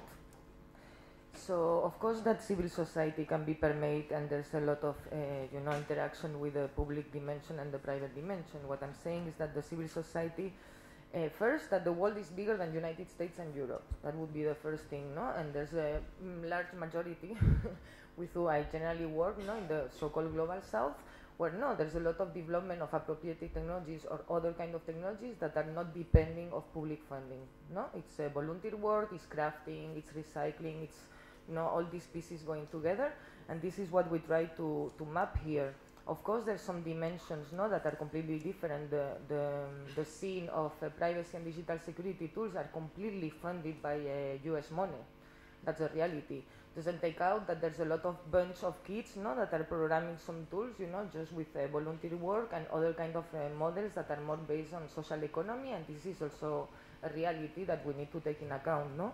and um, yeah, I mean, like, uh, yeah, I mean, even in Europe, no, the model uh, of relation that we have with the welfare system is not at the same in Germany that in Spain. I mean, here there's a lot of, I've been engaged in a lot of technopolitical development of tools that never rely on this kind of stuff. Only rely on guts, on the needs. We need to cover this need, this service, and we just do it. And that's a reality, and I think we need to put it somewhere, and that's what we try to document in this in this process, no? Um, hmm. I wanted to say another thing, but I forgot. And uh, on the dimension that you asked, Marco, like when we look on the initiatives that we were mapping here, we talk about speculative fiction because none of the initiatives that we find have all the characteristics no, of the ideal no, uh, initiative as I have described, no, this ideal definition of a perfect world where you could produce uh, technologies in fair conditions. No? Um, but for sure it cannot be on open source because we know that open source was the no a trick to commodify no the development of this work to the business and to remove the political ideals. As i said technological sovereignty initiatives is not just the outcome of the technology they're producing it's how it's produced no how people get empowered through the process which kind of virtuous loops no of uh, social economy and exchange it creates on the territory etc etc so that's why we remove the open source because it has done a lot of uh, a, a, lot of it's been very counterproductive no? And now i was reading a book um, that's called road and bridges the unseen labor of our digital infrastructure where they have been like detailing a lot no? That the quality of the code is going down that there's a, a lot of reutilization of software no? And then they put all the tricks on license this part is public, this part is not, etc. So we knew that that was going to happen when the movement of open source uh, came around. So yeah, I think it's a big problem because people are spoiling from the reserve and they're not putting back. So that's an issue. I pass now. Yeah. Should I follow? Oh, yeah. All right. Yeah. On the question of uh, post-neoliberalism, I agree with you, Evgeny, that there is a sort of, uh, how do you say, inconsistency between discourse and practice and I really understand this course not as something kind of free floating, but more as a linguistic structure than as concrete consequences on reality, right? The way in which we view the world ultimately as varying the way in which we act in the world. But it's quite curious, I mean, at any time of sort of organic crisis and creation of a new hegemonic formation, you have this moment of dissonance, say, called cognitive dissonance. So if you think back at the beginning of neoliberalism, also Margaret Thatcher had to face within her own party social conservatives who were uh, much closer to actually labor in many of their uh, conceptions of uh, social policy. Right? They had this idea of a pact between labor and capital. They thought that you needed to give something to the poor. Right? And also there is this sort of this connection between uh, the new kind of prophets, the new ideologies, and the actual technicians of a political formation who have been trained, have been schooled in an old ideology, therefore they don't know how to do a new thing. And you see exactly what such kind of uh, dissonance what is happening now in Britain, right? In which you have a government that is making these kind of uh, very ideological declarations that are clearly in breaking with narrative we, we got kind of before the crisis, yet then is retreating because they don't know how to do it. They say they know how to say it, but they don't know how to do it in a way. I think you know I mean, really, if you look at the U.S. elections, are, are the most the blatant demonstration. At the level of discourse, definitely we are beyond that, in the sense of uh, the economic protectionism being used really as a main flag for uh, now the president-elect. It's quite thick, right? Then obviously, what are we going to see in Trump's presidency? We're going to see elements of neoliberalism, but we're also going to see some weird form of state interventionism. So all these large construction programs facilitated through uh, tax breaks to companies is a weird re-edition of monopoly capitalism, right, where the state uh, collaborates with large corporations in order to construct things. And I'm afraid that it's going also to have large consensus because it's going to create more jobs in the Silicon Valley.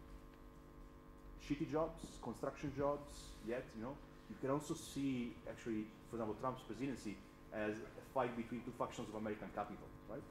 Kind of neoliberal Silicon Valley capitalism and this more uh, backward-looking construction capitalism, state capitalism, more aligned with small and medium enterprise, which is more backward-looking, but possibly is creating more jobs than the Silicon Valley system is creating.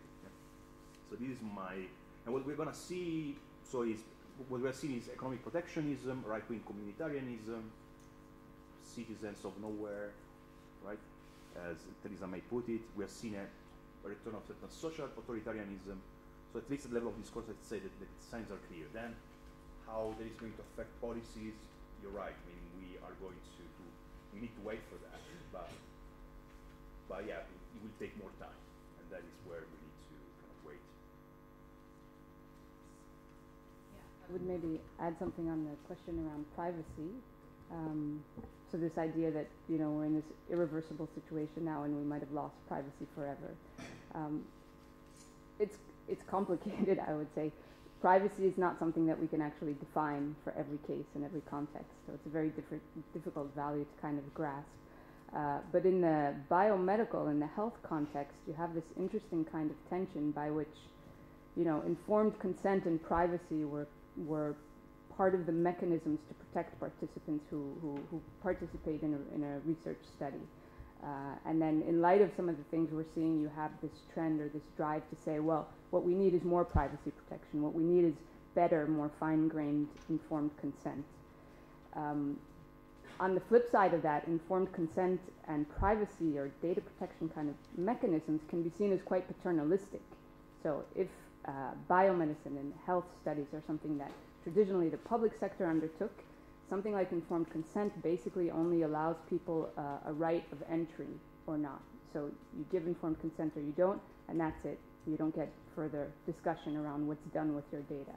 Uh, so this is this can be perceived as a form of paternalism. It can actually be seen or experienced as disempowering for people who want to participate in research, and we know that there are quite a lot.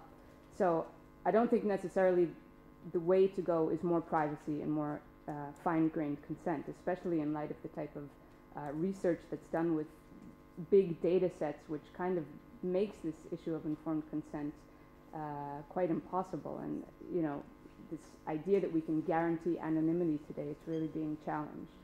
So you can say what we need to do is then, I mean, we only need these privacy protections in uh, a context which is threatening, right? So if we're going for uh, something like um, not specific consent, but non-specific consent, where you kind of agree to share your data, to donate your data to a, a, a, research and similar research that it can be reused because that's what's done in this kind of big data research. The data is reused.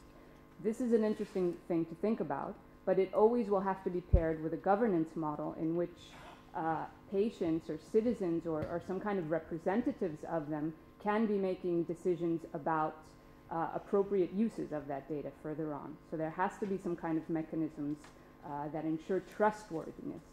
And then the issue of privacy becomes less important. So it's a bit of a naive, it's not a cop out answer. The issue of privacy becomes there less important. So if you take something like um, Sage BioNetwork, this uh, data repository, which is working with some of the first Apple Research Kit apps, and the idea there is that uh, they're getting the data from the iPhone, um, de-identifying it to a certain extent, but they're very honest about the fact that privacy can no longer be guaranteed. And coming into this, we all need to be aware of that. But their promise, in a sense, is that they're going to manage this data as ethically as they can. And what they do is hold on to it, and they allow researchers to access it. But these researchers have to be uh, certified. I mean, and then we can have all kinds of discussions about how the certification happens and why Sage Bionetworks get to, gets to decide who's certified and not. But it's a way to try to move beyond this uh, focus on informed consent, more fine-grained consent, more privacy, which is really something that uh, kind of keeps in place a very individualistic notion of all of this. It's about individual autonomy, privacy. If you're talking about stuff like healthcare or many of the other things I think that maybe commons-based groups are trying to do, these are collective actions. So informed consent and privacy, it fragments collectives, actually. It doesn't strengthen them. It, it kind of disempowers them. It might give you more autonomy or more control over your own data, and even that's very questionable. But it doesn't allow for group action. It doesn't allow for collective action. I, I don't think that's the framework. It's a very important one, but again, the focus on that uh, tends to come at the expense of, of other things uh, that I think we should be thinking about in, in this context. Thank you. Jonathan? Can you hear me? Yeah. Um, I'll be quick, but I think uh, on on the sort of question about the commons, I think uh, this is exactly why these kinds of events are really important and um, uh, uh, also enjoyable and, and interesting. Is to kind of bring to bear some of the um, both historical, theoretical, and kind of critical work around the commons as a kind of contested concept, rather than um, being able to kind of straightforwardly rally around it as a kind of centerpiece for kind of progressive politics. I think that um, just as you, you know, you, it's the same with words like democracy, right? I mean, you, you have to be aware of how these kinds of concepts are, of what they're doing in different settings and different practices associated with them, and to have some kind of historical and political economic um, uh, awareness, but also the kind of work that we're sort of seeing today on sort of power elites and think tank networks, and um, uh, you know how ideas such as openness and the commons and sort of open data are being reconfigured and um, used, kind of, for example, in the case of open data, in projects to kind of uh, restructure the public sector and sort of provide conditions of possibility for kind of unprecedented marketization, and there's all kinds of things that you have to kind of look at there, which is um, on Evgeny's question. I didn't imagine this would happen, but I think um, if it's possible, I'm, I think I'm even more critical and concerned than you are um, in, in, in on the sort of, on the case of, sort of how open data is being used and its sort of consequences. Um, I think sort of uh, I'm particularly sort of not just concerned about the sort of asymmetries in sort of capacities to exploit sort of data, um, but also in the capacities to shape the way in which data is created in the first place and the ways in which that brings about different that that creates the conditions of possibility for different ways of seeing the world and different um, uh, ways of organizing political and economic analysis of, of various kind of very important aspects of the situation I'm in. Um, and I'm thinking now of sort of public financial information um, uh, systems in particular and economic indicators. Um, and, you know, on the case of Soros, in some ways I'm kind of less concerned uh, with the kind of discursive um, character of how open data is being used. Uh, I'm slightly more concerned about the data practices and the uh, way in which different forms of quantification are being embedded deep within institutions um, uh, and the sort of broader social and political consequences of that. Um, and that includes things like you know the IMF and the World Bank's kind of uh, standards around um, like public financial statistics or accounting standards. You know, I, I, think in some ways like all the stuff around kind of startups is, a, is a sort of is more of a consequence. Whereas the, what I'm interested in at the moment is sort of politicizing some sort of extremely uninteresting in many ways kind of um, uh, data work that people are doing in different institutional settings. Um, and that, I don't think that means that we should by any means sort of turn away from the idea of open data. It just means that, you know, as, as you might expect, there's a lot of kind of social and political work to do, and that you kind of have to go into this with your eyes open and um, be aware of how these different ideas are being put to work.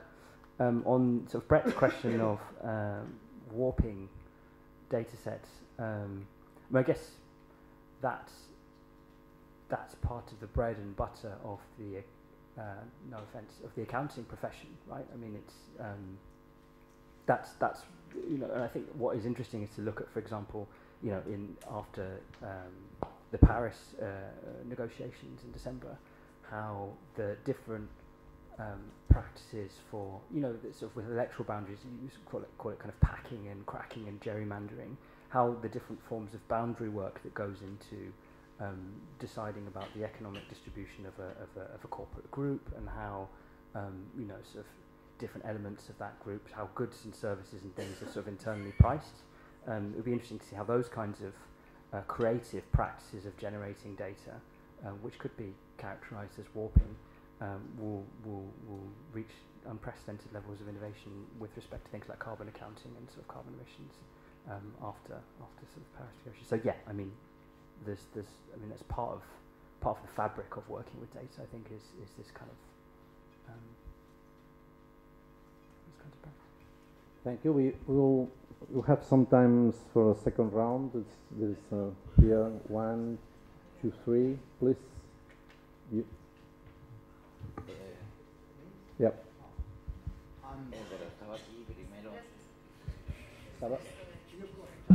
Estaba el pri- bueno, ya te dio la palabra, ¿eh? Antes. Así. Sí. Sí. Dai, Toret, dai, dai, adelante, adelante. Adelante.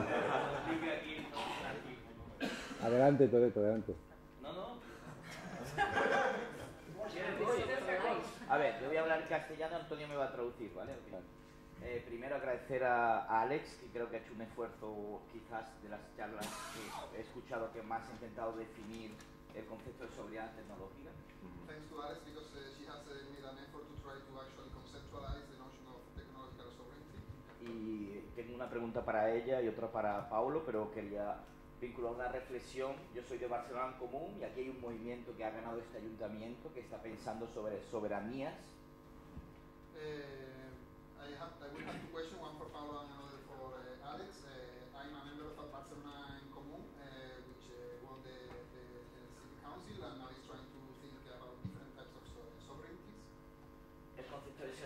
de soberanía es, es importante para nosotros y creo que hay, hay una combinación entre lo que planteó Paulo y lo que planteó Alex que, que van al, al corazón de la idea de soberanía o como nosotros la estamos pensando políticamente. There is a complementarity between what Paolo proposed and what Alex uh, proposed, and uh, they both go to the core of uh, what the sovereignty por, is. por un lado soberanía como lucha de poder, ¿no? De alguna manera de disputa del campo de fuerza, ¿no? de lucha hegemónica ¿no? entre un populismo de izquierda o de derecha, que es la lucha de comunicación y política y de movimiento contra los poderes. So the sovereignty as a space of uh, struggle uh, for power between different uh, social actors, like uh, social movements and public institutions and uh, private actors. Y desde aquí es una lucha de la soberanía desde una perspectiva de la ciudad, de las fuerzas que tiene la ciudad y los movimientos vinculados a la ciudad para conquistar más poder, porque no nos van a regalar la soberanía, vamos a conquistar. ¿no? So there is a key question which is how to increase the level of sovereignty because it's not going to be given to us, we have to take it, and how to do it from the city. Entonces la pregunta para Paolo es que nosotros estamos haciendo una reflexión sobre las múltiples soberanías y cómo son interdependientes la soberanía energética, la alimentaria, la económica, la territorial, la tecnológica. So uh, since we are thinking different types of uh, sovereignty, we have to think how to how they are interdependent and how they connect. Y la pregunta para Pablo es cómo podemos avanzar en esas múltiples soberanías que avanzan ¿no? en contra de esos poderes que son múltiples, no, no son únicos, son múltiples. So the question is how to connect those different sovereignty and how they advance against uh, powers that are also multiple. Y la pregunta para Alex es- está vinculada, aunque yo creo que la otra parte de la soberanía es una construcción de la alternativa, que es la oportunidad histórica que tenemos ahora en Barcelona porque estamos gobernando, ¿vale? Y tenemos la posibilidad de cambiar la agenda y la estructura que queremos construir. Y eso es también construcción de soberanía. So and, and then uh, what Alex has referred to very well, uh, which is the question of how to build the alternative and how to construct alternatives uh, from the city, as you said. I mean, I'm simplifying. Ok, it's easy to ok, do. está bien. Entonces, la, el- la pregunta para ella es que es, creo que una perspectiva solo de la sociedad civil creo que se nos queda débil, porque el reto y la dificultad de hoy es cómo los prototipos pequeños podemos escalarlos a escala de ciudad y realmente dar una dimensión mucho más más grande que la que hemos tenido hasta ahora y es el reto y la posibilidad que tenemos ahora. ¿no? Y es esta doble combinación entre lucha de disputa hegemónica por construir más poder y más soberanía, pero al mismo tiempo de construir infraestructura autónoma de ciudad que salte en escala pues esta soberanía bien concreta. So I, my question for Alex was whether the notion uh, of civil society doesn't uh, remain a little bit short because what we need is uh, basically to, to uh, construct. Uh, well, yeah. Uh, on the one hand, to think in terms of a struggle, and on the other hand, uh, in terms of uh, autonomous structures. But uh, basically, taking the power of uh, public institutions and f- to try to scale up what right now are small, uh, small projects. Thank you, Javier. Yes. Um, I don't know if you know the film Mulholland Drive, but the if you remember, the protagonist refuses to uh, obey the instructions of a sort of mafia-like shady organization and repl- and replace his leading lady in his next film. And when he uh, defies them, they close him down. So my question is, uh, on the basis of your researches and your work, do you think communities could ever be able to build independent networks that IT companies and or the state cannot access or close down?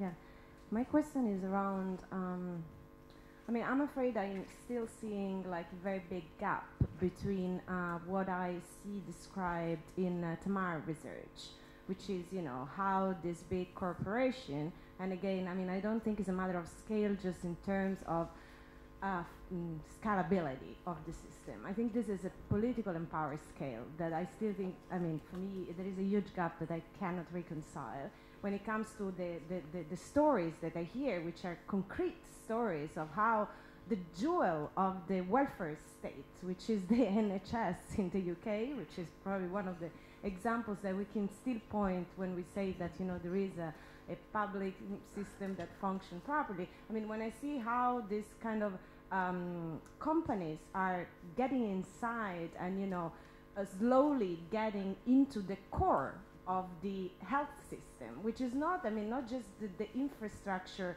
or the gathering of the data, is the know-how of how a complex organization like an hospital and a public institution, which has been working for so long, operates. Yeah, because this is what these companies do. They're not just sucking the data and then you know financializing the services, but they also acquire all this kind of um, knowledge, which indeed, I mean, this is the problem where we fear that in a, in a very shorter than what we may want to think.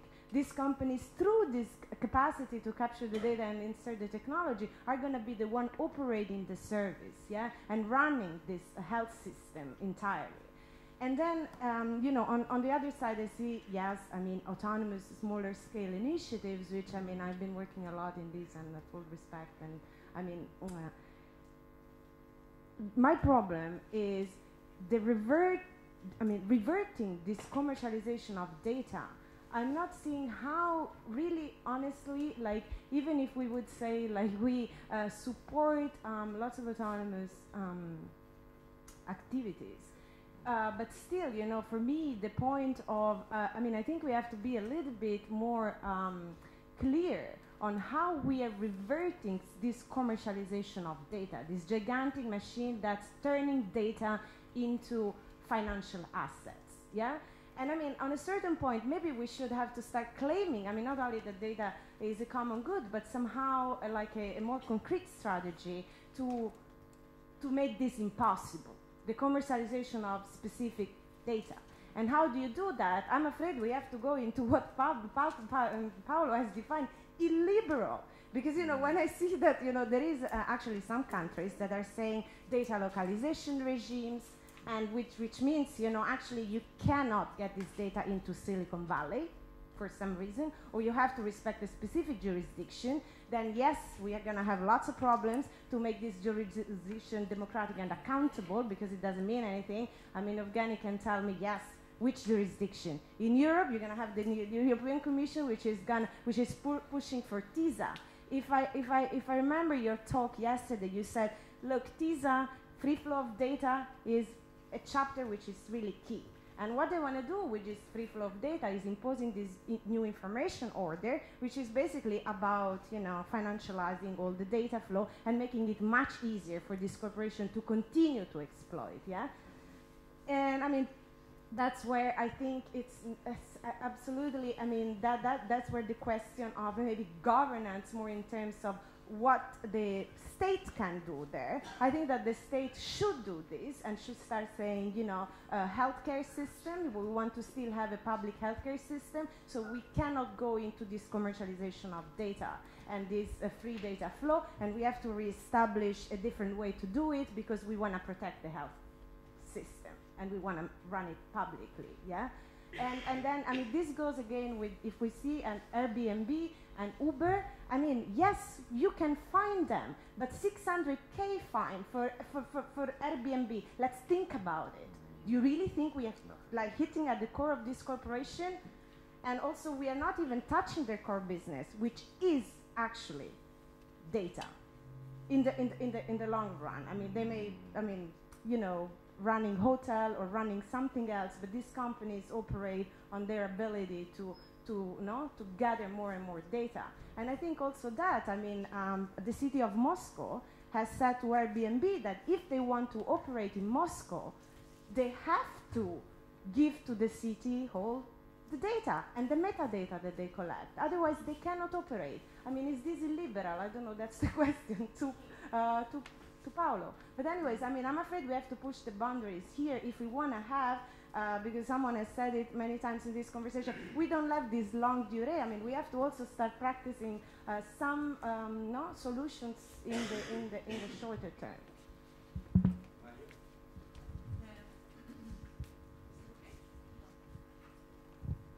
No? Uh, I would like to comment uh, the um, connect the two interventions by Pablo and, and you, uh, Tama, uh, because actually, like reinforcing this element of the uh, uh, taking out of uh, sovereignty of uh, on-demand economy, no? Uh, how far uh, they are also taking out or uh, the, the research around, around economical development, and they are locking it in because actually what is happening with the publication about the impact of the on-demand economy on cities is that uh, only uh, researchers which are very favorable of Uber or Airbnb are allowed to access the data and publish the data. So they publish in all more peer-to-peer, uh, uh, peer review and, and, and reputed journals in order to provide uh, results which are favorable for the uh, view and the history of, and, and, perspective of Airbnb and Uber, because they are allowed, they are only ones allowed to access to this data, which uh, also brings us about all the debate which the European Commission is bringing with the European Agenda on Collaborative Economy, pointing to these results of research in order to support the, this uh, European agenda. It's a a real, really a very uh, uh, perversive uh, cycle, no? But they are actually occupied also the, the research around these issues in this way, no?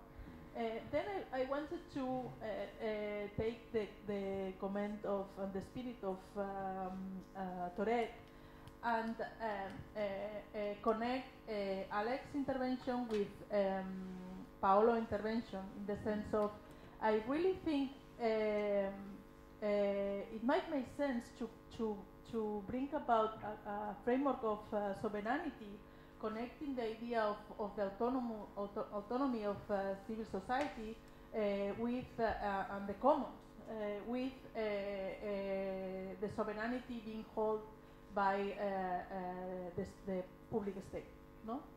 And so here we talk a lot about public commons partnership, and I think this should be the, the foundational uh, base for rethinking sovereignty. But um, also, uh, obviously, co- uh, connecting with the comment of uh, Evgeny, it cannot be any any public or any in terms of any state. It could not be any civil society. There should be a particular morality of a state with a particular modality of civil society in which commons public partnership might work. And in both sense, I think Barcelona it's a very interesting case. Not only because we, we are governing the city, but because of the civil society that we have and the social movements that we have and the way in which social movements has been uh, organizing and, and, and using technology is particularly uh, relevant Barcelona. Forget about uh, that we get uh, govern, the government. Even, even previously, uh, uh, we have all these, um, also from the perspective of connection to life, how far it's been able to solve uh, uh, uh, and economical activity in the city. And so I would like that, that uh, somehow also connecting with this, mo- this moment, these morning critiques about the, the too theoretical or the lack of practical insights of all the debate, perhaps a way of situating uh, the theory uh, uh, would be, uh, and some other bits, that we depart from the situation of Barcelona in order to, uh, both from the perspective of the governmental pos- possibilities and the or, uh, civil society modality and social movements, in order to reflect on the issues and not doing it in an abstract and not connected to action. No, so Barcelona be more uh, in the part of the uh, program to situate the discussion. Thank you. Well, uh, we are just in the, the deadline, and uh, I ask you a very short uh, answer, if it's possible. Okay, I go? Yep. That's a lot of things to say, so I'm going to try to think a little bit about the binomial privacy and the things we can do to, to regain it. No, so privacy is contextual, it's highly subjective, it evolves on time. No, right now all the all the strategies of mitigation they are drafted around the individual. It's the individual. It can you know fortify or reduce its digital shadow or obfuscation or compartmentalize, but all the pressure is put on the individual when we know that privacy and security is a collective game, no? So there's something is failing. So if we want to make some kind of other pressure more at the collective dimension, we need to try, no, the possibility of uh, for them data uh, the new oil, no? So here you can make some pressure at the governance of internet and the kind of standards that we could develop. You can pressure industry, like with uh, fines or new uh, legal frameworks, but I'm a little bit dubious about the possibility to implement this on the time that we have when we are running no, an institution that is mortal.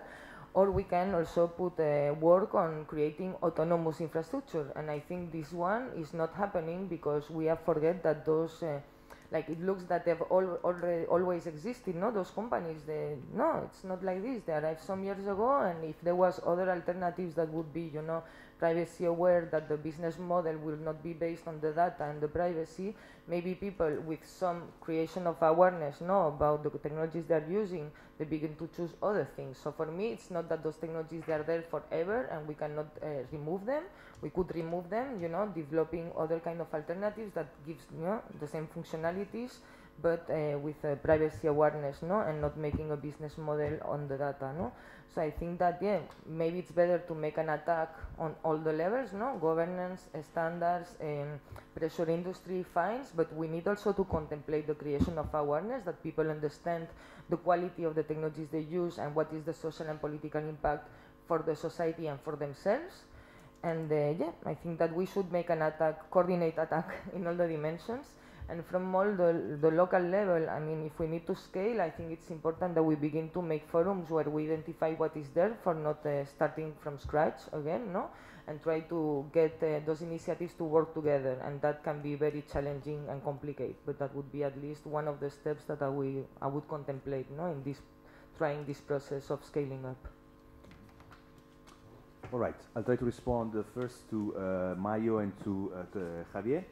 So, indeed, we need to think of a politics of sovereignty that is multi-scale and multi-domain, as sovereignty is now. Some people are talking about neo-medievalism because, I like the Middle Ages, uh, sovereignty is now not just contained in the nation state. Sovereignty is at the local level, at nation level, supranational level. Uh, sovereignty is partly social, partly public, and we need to work across the different scales, realizing that they are not exclusive. I mean, it's not exclusive to construct an autonomous infrastructure and to have a public infrastructure.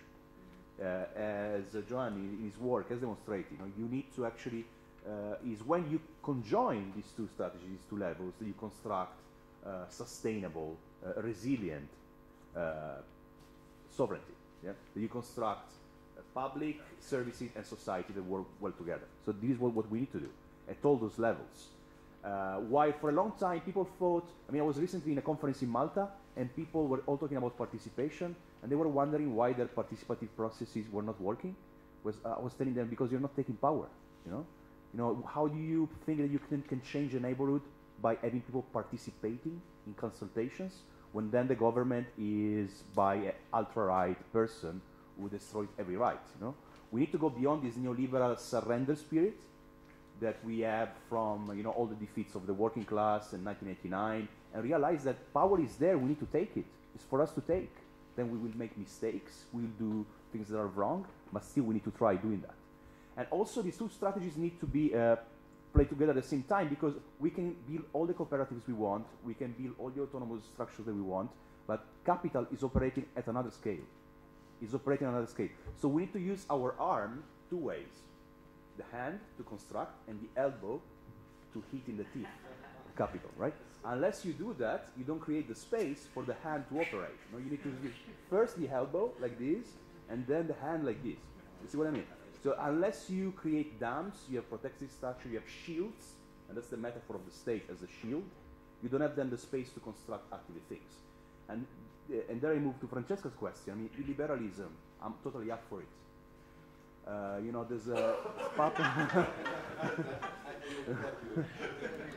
there's this theorist of populism, Pappas, that says that populism is illiberal. Indeed, uh, we need to kill the liberal within us, and it's going to be painful because the left, for a long time, uh, many people took ultra-liberalism to be left, but it is not the case.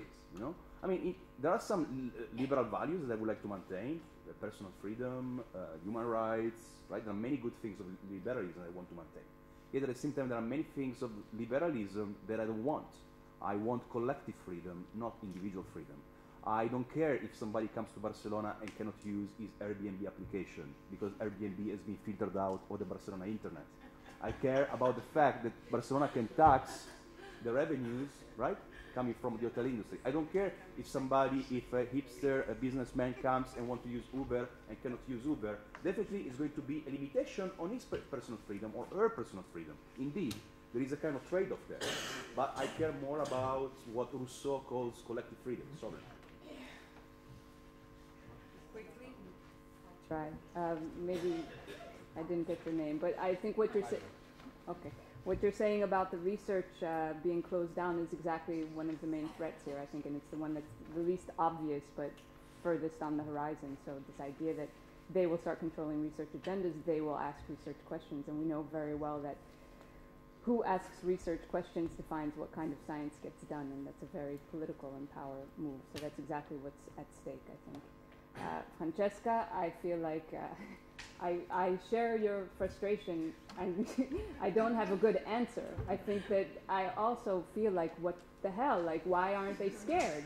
What, and, but then I really think that this is down to a level of perhaps maybe they don't know. So there is something to do. I mean, I think we need to be talking to different audiences. So policy is certainly one of them. And I think in this case, I think policy really isn't that much aware. So it's also a case of bringing this, and the descriptive work is very important, then the kind of empirical uh, just collection of the cases and details. Uh, life scientists, in my case, are another audience. So I've seen life scientists. I've been at conferences where I've spoken, and you know, after me came the Microsoft guy with a pitch about this Microsoft Vault, which didn't make it, but it was kind of like a Google uh, genomics thing. And he's telling this to life scientists. It was like 150 life scientists, and they're drooling. You know, please let me put my genomic data onto your cloud because the server I have in my university is old and it's in the basement, and you know, it doesn't, it can't do the work. So there's a problem here that, you know, I'm not expecting life scientists to think about all these questions, but if you present it in the right way, they can understand that this is about controlling research agendas. But they see, you know, they have this, there's magic in their eyes when they hear about this because this is very exciting stuff for them. There's, and, and that brings me to another point when we're talking to the public and this very heterogeneous public, but part of this public is also not bothered because if we get better health treatments, I've had this conversation with a family member who's diabetic, He doesn't care if it's coming from Google, from Google or from the hospital. He just wants better care. And I understand that interest as well. It's a different kind of interest. So it really depends what publics we're talking to. The public is also not as engaged, I think, and aware as all of you here. So this kind of push towards co-ops and commons, this is also something we have to question in the sense that it, it demands a level of involvement and engagement that I don't think we should be expecting from everyone. Uh, people don't want to have to take decisions every you know day about what's being done with their health data and research. What? You would rather the planet just vanished. No, no, no, not at all. But I think that shouldn't be the expectation here. I think that's also a means of, you know, we're in this shift of responsibility from collectives towards individuals, and that's an, that's another, uh, it's another way of doing that. We have to be careful of that. So there's going to be a lot of people who don't want to organize in a commons and a co-op and take this kind of involvement. So I think that these different audiences that we need to be speaking to, that's a very important issue. Um, that's the best answer I have right now. Yeah, I just wanted to kind of uh, comment on uh, Francesca's point mostly, which is basically about how I think uh, we have to fundamentally reimagine the political and economic visions which underpin um, the way we think about the production, the performativity, and the use of data.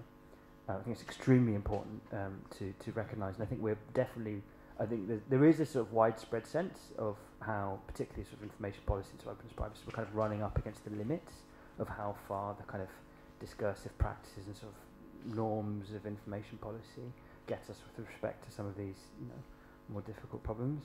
I think uh, one of the things that you raised sort of bring, brings me back to what Joseph Stiglitz called um, the default position of um, uh, of information policy in the US, um, which is I think a paper that he wrote under contract for the Communication Industry Association. I can't remember, but um, basically where you kind of draw a line between what um, what states should do and what the market should do, and the line is basically um, government should provide the information and markets should provide services around that information, which kind of heavily informs, I think, sort of what Evgeny's written about in relation to kind of Tim O'Reilly's notion of sort of government as a platform. I think you sort of wrote something a while ago about the UK sort of taking that, the Liberal coalition, Conservative government um, taking that very seriously sort of blueprint for how they sort of organise their sort of tech and sort of data um, work. And I think that the thing that needs to be rethought is rather than sort of seeing government as a platform as the creator of markets, um, how else can we think about the role that data infrastructures play as a core part of what public institutions do um, with a kind of broader sense of what their public mission is and um, what kinds of effects that we want to produce, what kinds of relations we want to produce. Um, I think that, that we're really also at the limits of this kind of open-ended innovation arguments, you know, even amongst their sort of proponents have kind of opened things up and we'll see. Um, and I think that involves kind of thinking very seriously around things like public sector innovation and um, how you kind of create loops back into the public sector that involve um, civil society groups and um, others in the use of data. Thank you. Well, uh, I think uh, we have to, to thank our four speakers for this wonderful debate. Uh,